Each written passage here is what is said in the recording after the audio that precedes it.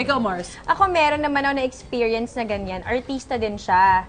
Tapos nagme-makeup ako nun sa dressing room. So naglalagay ako ng concealer pa lang. Tapos kalahati pa lang Mars yung nalalagyan. Ito wala pa. Oh my God. Siyempre, dressing room, salamin.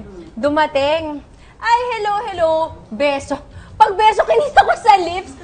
Sadya yun. Alam ko naman. Lalapit dito. Pero hindi ko naman expect. Tapos alam mo yung, yung walang concealer na mula.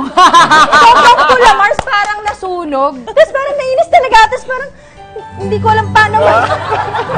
Ganito ba yun? Ganito ba yun? Hindi ko talaga alam paano mag-react kasi magagalit ba ako? Oo nga. Ma- Mapipikon ba ako? Kasi nagulat talaga ako. Ano yung mukha niya after niya ginawa? Wala, dead ma. Hindi, Ah, pag- dead ma. Pag ako naman, sa akin magbebeso-beso, tumama dito, okay lang. Oh, kasi Sa lalaki inyo. kayo. Hindi, pagka dito, sasabihin ko, dito, dito ba? Ah, or gumagano. Hello. Pero lalaki. Style nyo kaya yun? Correct. Mu- Yan ang very lumang hook. Totoo naman, Mars. In fairness sa mga girls, ang bilis din umiwas, Actually, ha? luma na yung style na yun eh. Oo. Bago lang yung term. That's, you're right. You're absolutely right. Totoo yan. Bumabalik-balik lang. Totoo yan. Tama. Oh.